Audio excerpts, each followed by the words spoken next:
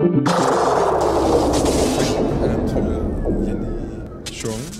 if I pronounce that correctly. Um, and she'll tell us about technical lessons learned from Pythonic refactoring.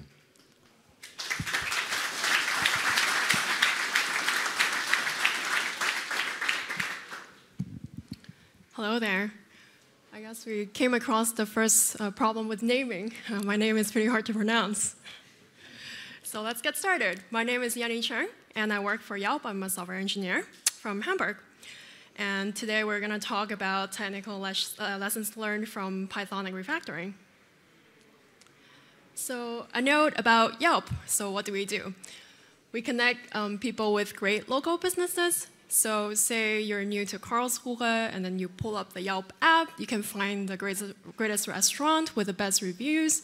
And if you're at home figuring out a plumbing problem, you can take a picture and then send it um, to Yelp to request a quote so that businesses will reply within a short period of time to tell you how much it will cost to fix your plumbing problem. So this is what Yelp does. Um, in Europe, we have two offices in London and in Hamburg. Our headquarters is in San Francisco, so we do have um, a lot more locations in the US as well. Um, Yelp is a pretty big company, so we have over 5,000 people worldwide, and we have more than 500 engineers now. It's hard to keep track. And um, at the same time, we own more than 300 microservices. So it's like a pretty big scale company with a lot of interesting problems to solve. So today, I'm going to talk a little bit more about refactoring. And this is the agenda for today. So I'm going to talk about the what's, the whys, and what kind of things we can refactor, talk a little bit more about code smell, and the ways to deal about um, these code smells, and also in the end, the role of testing and refactoring. So let's jump right into it. What is refactoring? Um, according to Martin Fowler, um, he's this very important guy who wrote the book called Refactoring. So I guess we need to look at what he says about this. Um, he says that refactoring is a controlled technique for improving the design of an existing code base. I think what we need to pay attention to is that refactoring is basically changing the design of your programming without changing the functionality or the behavior. So that part we need to keep in mind. So why is this so important? Why do we need to spend time doing this, uh, doing this right? Like, when we're spending time talking about this. First of all, it cleans up your tech debt problem. So let's talk a little bit about tech debt and how they're being created, right? So I can just imagine as engineers, we have um, pressure from the product side, right? We need to deliver fast sometimes. And we might not have time to think through the solutions. And uh, this is how you create tech debt, right? Or you have a good solution, but then new requirements come in. So in the end, the code uh, it's a little bit like not great anymore. So in this case, refactoring really helped clean that up. At the same time, I also want to point out it really saves productivity now. So imagine you're working with a legacy code base with really hard to read code. So you read it one time and then you like go to bed and then next morning you come in and you have to read it again and you don't remember because the naming was bad and then like it has a lot of weird functions going on. So what we do for refactoring is that we give that one-time effort, right? And then you don't have to look at these bad namings or bad code anymore. And it also saves your peers some time so that they don't have to suffer the way you did. And what is more is it increases your productivity. So looking into the future, you know, uh, first of all, you don't have to look at the bad code, and now you can maintain better code that you um, probably it's better than before. I hope. And um, one thing I would want to point out as well, like I did mention that you know tech debt and stuff, um, but then I think refactoring is just a good practice that everything uh, everybody should adopt. Um, especially, I think that it's very hard to get get things right the first time. And like nobody got things right the first time. So refactoring is a good process that we go through so that um, we increase its productivity in the future. And what to refactor? I think there's a big hint on the screen. Your code smells. So code smell, it's something that we should take care of. And I want to talk a little bit more about this, what code smell is. Um, this is a really good term, um, just to get started with.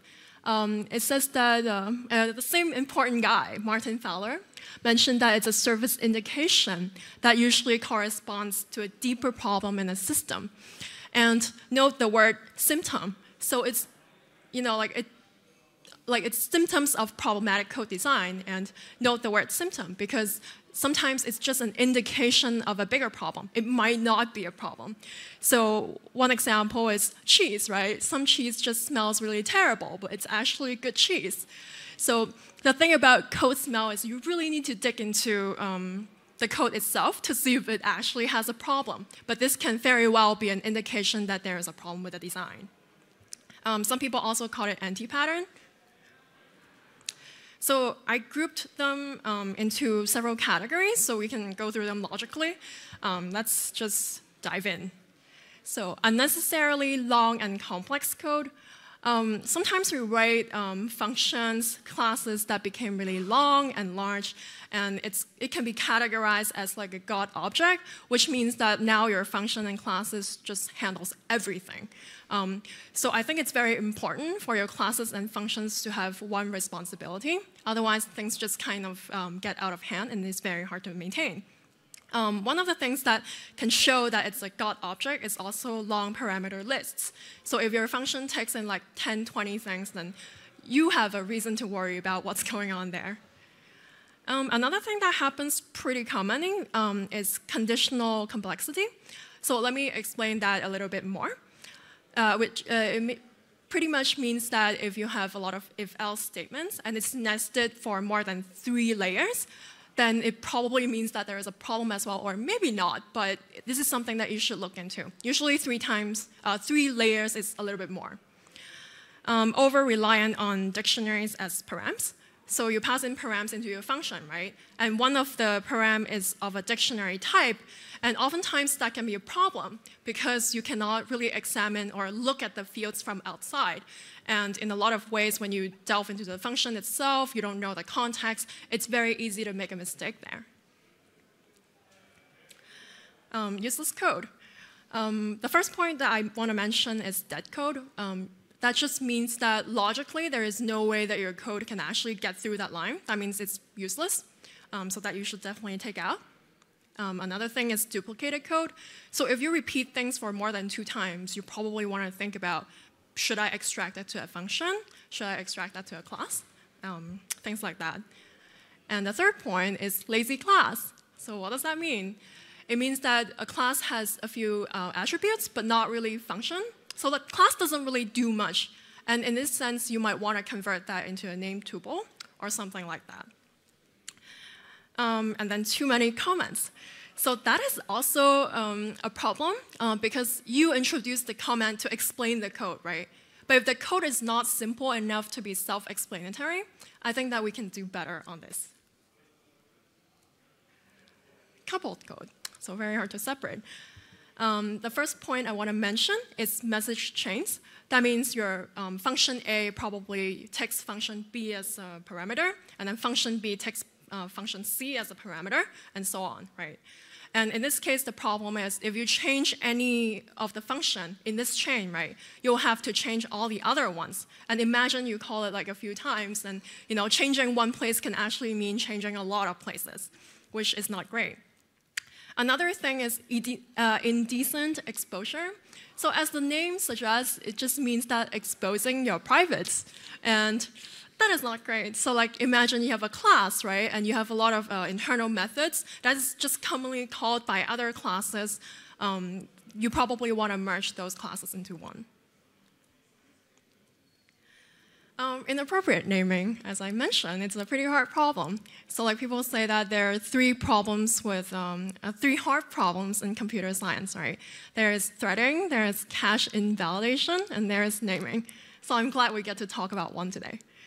Um, it's actually more important than um, I, before I used to think. So one thing I want to mention is variable and function naming.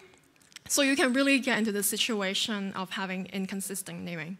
So imagine you're working on an application where you name your graph uh, chart somewhere, plot somewhere, graph somewhere. You can imagine like that is very error prone, and that's how bugs are being created. At the same time, uncommunicative naming. So that means your variable name doesn't really encapture what your variable actually means and what, what it actually does. Type and embedded means uh, type embedded names. Um, say you have a, a date and then you put like um, the name as date string or something like that, um, which is not great really. So like you know you can use type annotation. It's available now, Python 3.6. It's the way to go. Um, at the same time, inappropriate module structure and naming.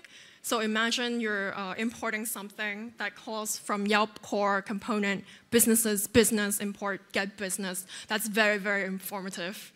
And it's really not great to use. So let's go through some example to really see these theories in practice.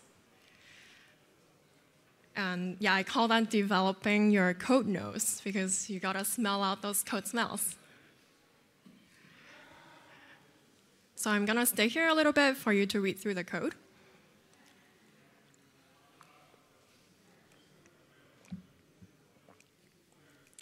Um, so it's a simple example that demonstrates um, a few of the code smells.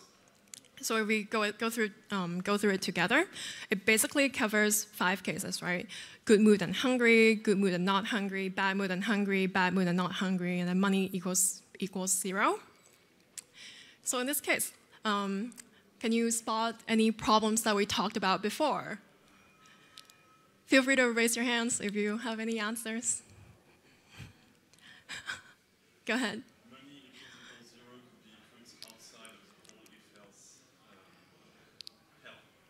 Yeah, that's definitely one of the problems that we can talk about.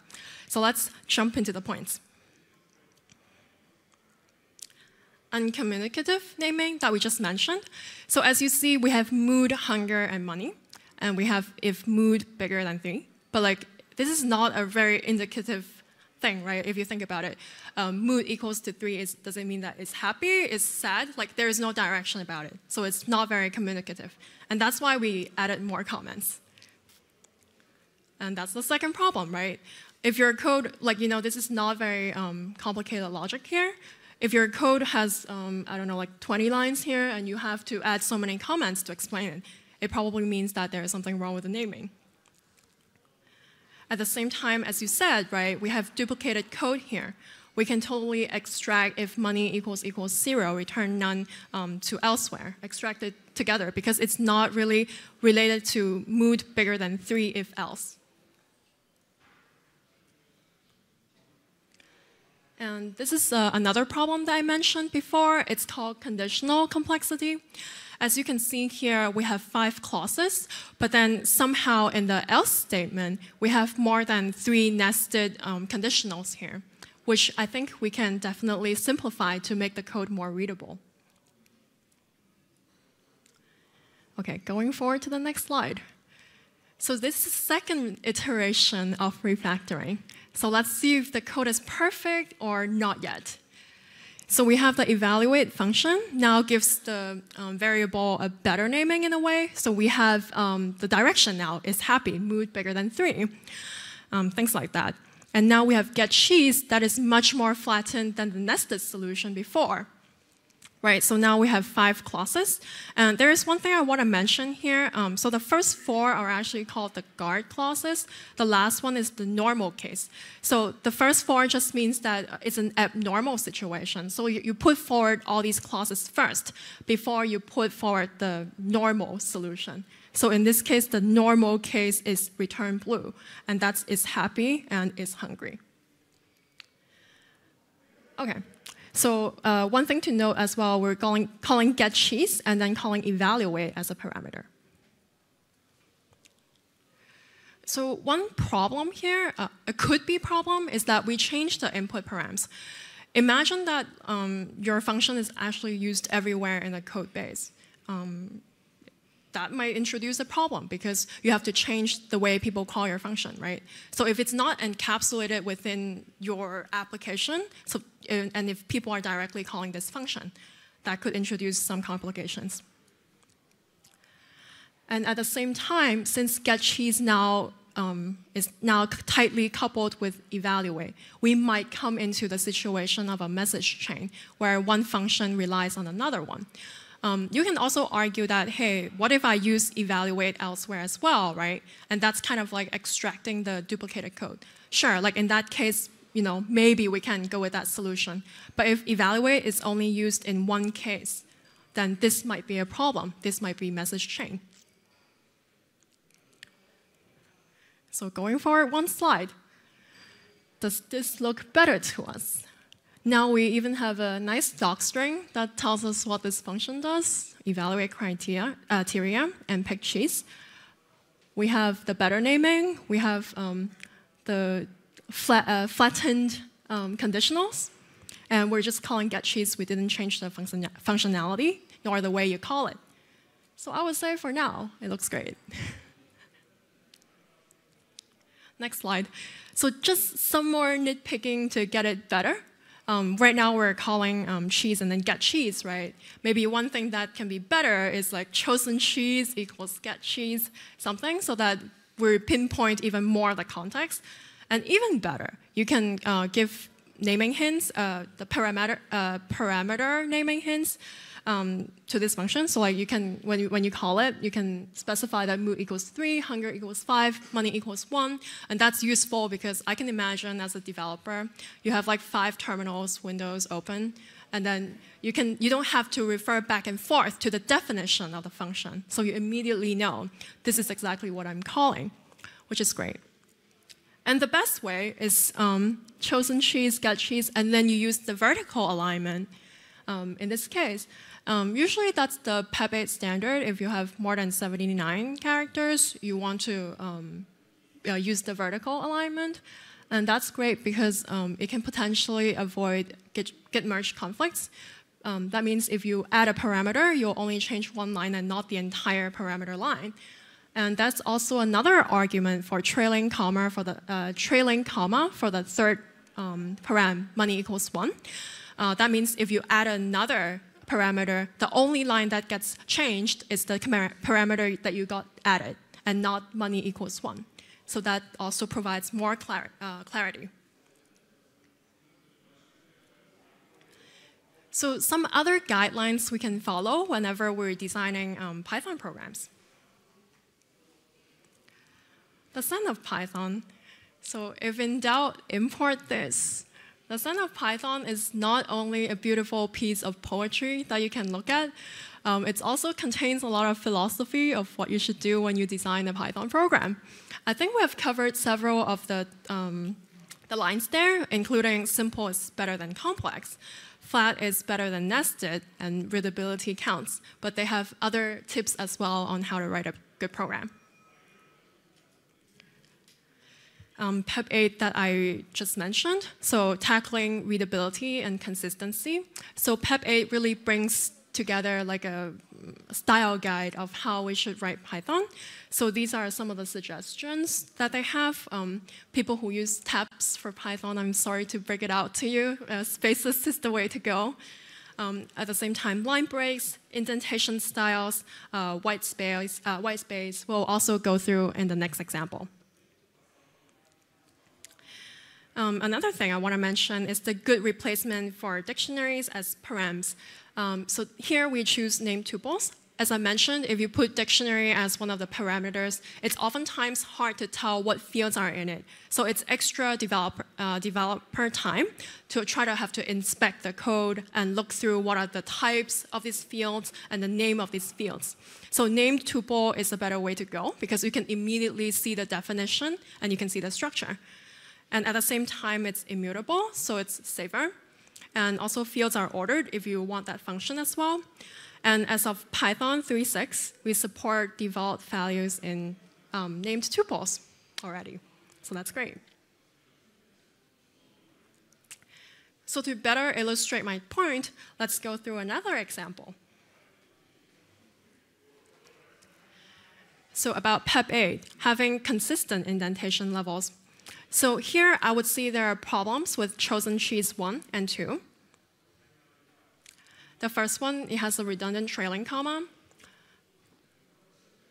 the second one, um, it has excessive white space between um, in the assignment operator, and at the same time, the indentation is wrong because if you pick vertical alignment, which means putting parameters um, one line over uh, after each other, you cannot have horizontal alignment at the same time.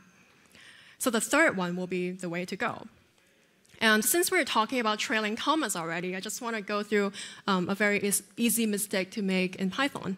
So be really careful with trailing commas because for hunger level one equals hunger, um, that actually created a tuple for you. Um, so it's pretty much equal to hunger level two, where Python interpret that as a tuple with only one item in it. And that's a pretty common bug, unfortunately. So I, I'm pretty sure you wanted to do hunger level three equals hunger instead.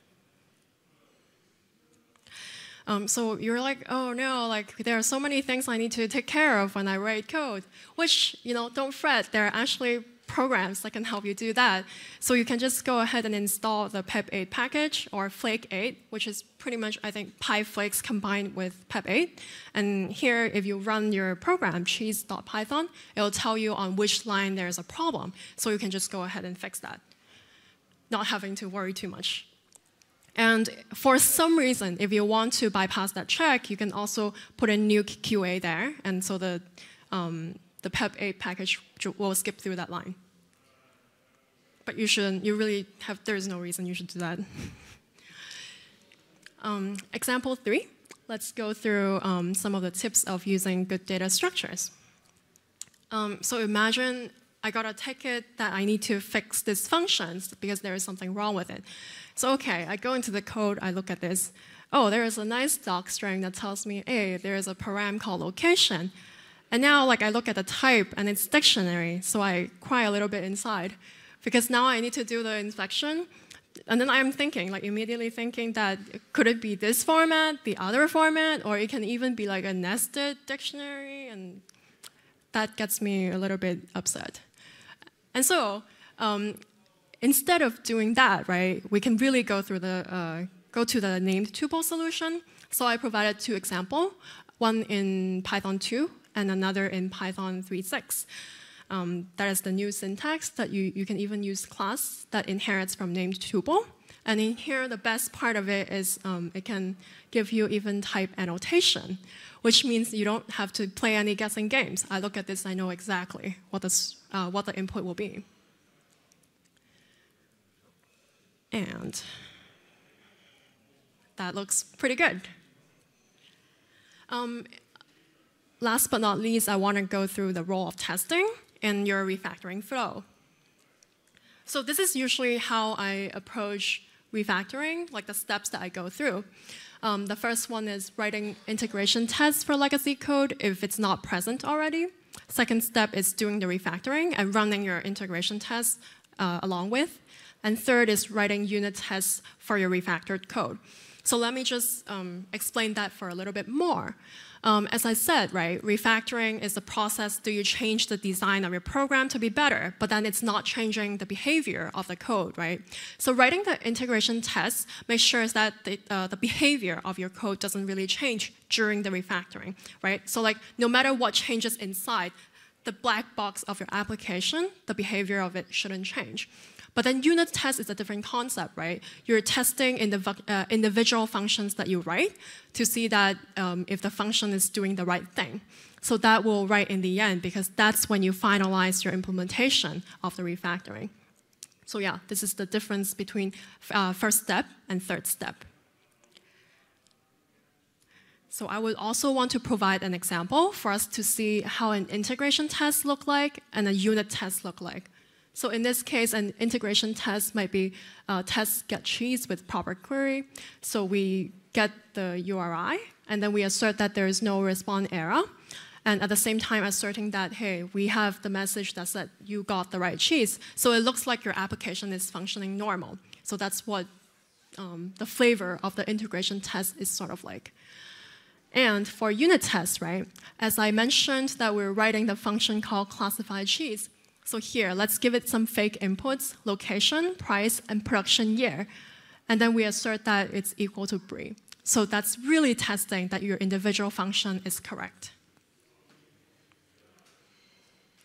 So just to recap what we talked about today, we talked about what is refactoring, um, the whys, and also what to refactor. Um, talked a little bit about how to identify the code smells and how to fix them.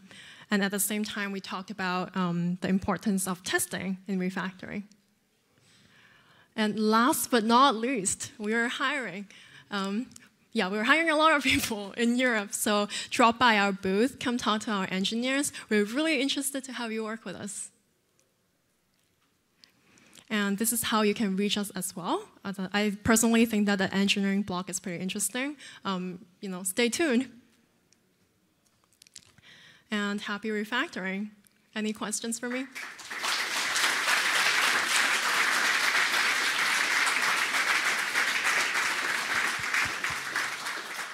So, after this cheesy presentation, uh, have you got any questions for Jenny?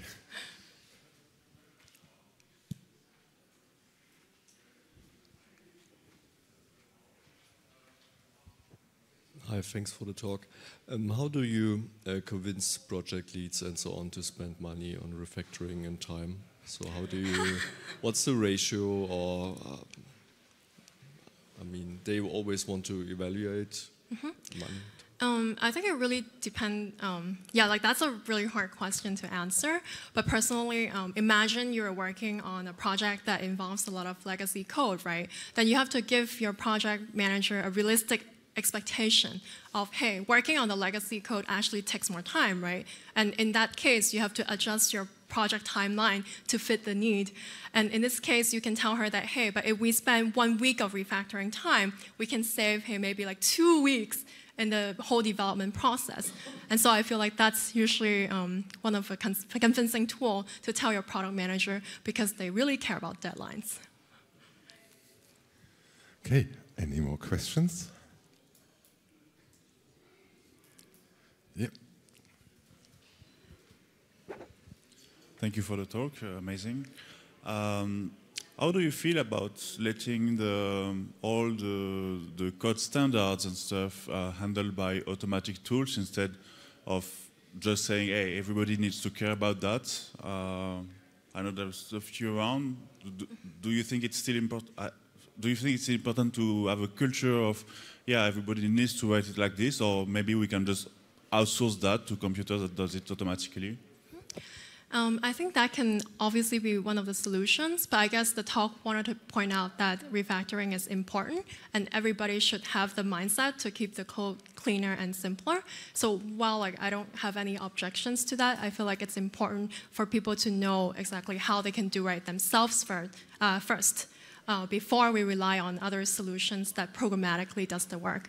And so, like as an example, right, like the Pepe things, I spent some time talking about um, what are the good style, uh, style guides to follow and explain why we need to do that instead of just, hey, like why don't we just import Pepe to fix everything in the first run, right? Right. There's another question. Uh, maybe a, not a question, but a remark. Um, you mentioned uh, named tuples for grouping um, attributes. Um, I wouldn't use that probably in cases where the order doesn't matter. And I was uh, wanted to mention that as an alternative. Uh, I think since Python 3.4 or 3.5 uh, type simple namespace, yeah, where we just assign attributes uh, if you, if, you, want to express that the order doesn't matter. Mm -hmm. Yeah. Yeah, sure. Thank you. Right. Yep. Stand up. Uh, thank you for your talk. Just wanted to ask, uh, how do you feel about uh, making exceptions to some of the uh, restrictions made in PEP 8? In particular, my favorite one is the line length. do you ever make exceptions, or it's? Um, yes sometimes I would say, especially um, in templating languages where um, the split of lines is not as clean uh, as in just Python. Sometimes I do skip the lint, unfortunately. Um, that's why I showed the no QA thing, but um, I think if you're just writing normal Python, you know, it's better to stick to the rules.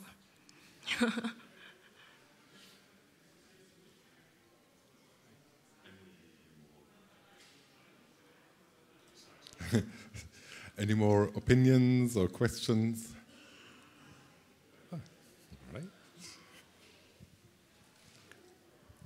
Yeah, thanks for the talk. I mean, it was really interesting, and I'm just wondering how do you feel about um, that sorts of package like AutoPep 8, where you just say, okay, AutoPep 8, you put it like different kind of aggressive flags that it automatically nicely formats your code. So I would assume doing it manually, you more have the control, you know what's going on. Um, but I don't know if you have some experience to show about that.